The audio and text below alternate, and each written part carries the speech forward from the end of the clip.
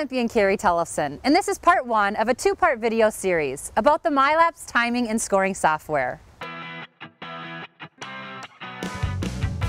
Timing and scoring software can be used to extract timing data from the MyLaps bib tag, ChampionChip, or pro chip decoders. The data from the decoders can be downloaded and distributed using one of the exporters.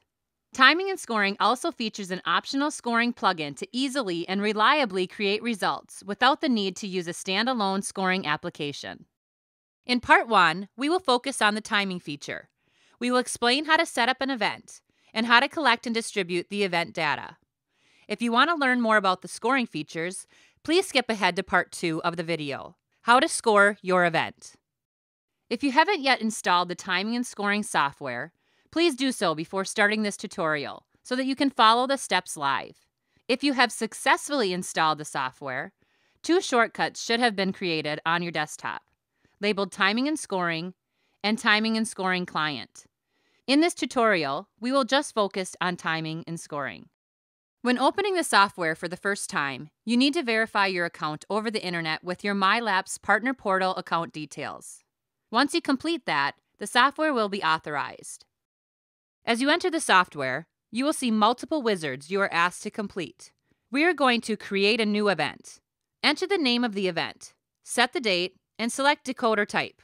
We'll choose BibTag in this tutorial and leave scoring disabled. Now you'll enter the software main screen. Here you'll see multiple buttons in the top right corner. We are going to use these to set up our event. We will work from left to right. The first button is BibTag usage which ensures you only pay for the bib tags that are used during the event. For more information, check out the bib tag usage video. The next button is Add Location. Our example event will be a very common but simple setup with a start and finish decoder.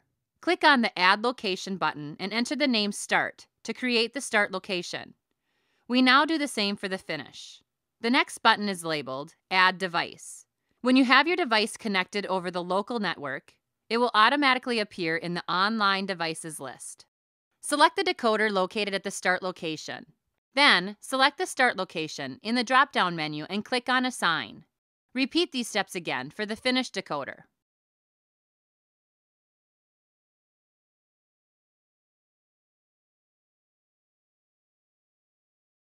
The decoders are now displayed at the designated locations.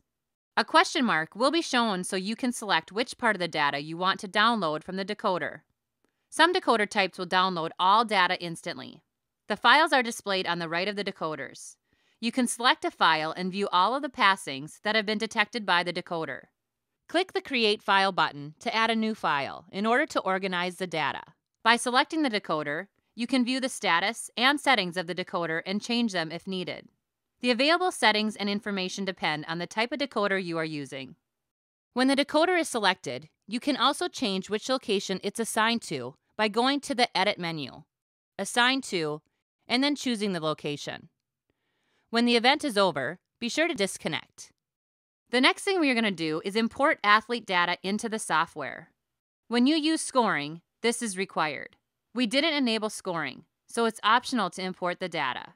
The benefit of importing the athlete data is that you will see the athlete's name next to the passings in the file, and you will be able to use the athlete data with some of the exporters. We will come back to this in the next step. Now click on the Athletes button. Click on Import Athletes and select your athlete's file. We're selecting a semicolon as column separator, but this will vary depending on how the file you are using is set up. The same applies for the character encoding set. Our file contains a header, so we check the box and start importing from row 1. Now, we have an overview of all the columns in the athlete's file. Select which column contains the chip code. Check the box next to each column that you want to import. If you are going to use the scoring plugin, you need to define the other column types.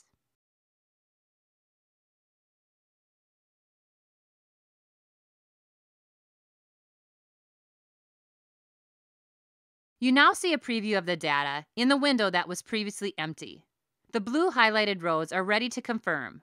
The red rows need attention. Rows will be highlighted in red when there is an error. For example, an incorrect or duplicate chip code, or when a scoring column triggers an error. You can manually modify the data or delete the invalid rows to continue. Confirm any changes you have made. Now that the data is in the software, we want to display the data and export it so we can process it. You can choose a display window, user-defined file exporter, database exporter, or TCP IP exporter depending on the situation. For this example, we will use the user-defined file exporter. More information about the other exporters can be found in the manual. Choose the locations that the data should be received by the exporter. Link the locations that the exporter should process. In this demonstration, we will export the data of both the start and finish. Multiple locations can be linked to one exporter. We now send the files to the exporter by clicking on the play icon. You can send a file again by clicking on the rewind button. If you click on the play button of the last file, it will stay in pass-through mode. New passings will automatically be exported to the file. By clicking on the Save button, the data will be saved into a file. This depends on the kind of exporter that you have chosen. Bib tag decoders need to be synced with the MyLaps servers before they can be cleared by clicking on the Sync button. This allows you to only be charged by MyLaps for the bib tags which were used. We recommend that you sync the decoder after the race. This requires an internet connection. The sync indicator will show all of the tags that have been synced. When syncing is complete, you will be able to clear the data on the decoder for your next event. Be sure to disconnect from your decoders when you're done and save your event file.